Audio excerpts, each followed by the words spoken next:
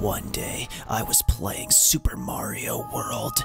Everything seemed completely normal, so I went to get a mushroom like I had done a thousand times before. But it wasn't a regular mushroom. Instead, it was a mayonnaise. And the mayonnaise turned red and said,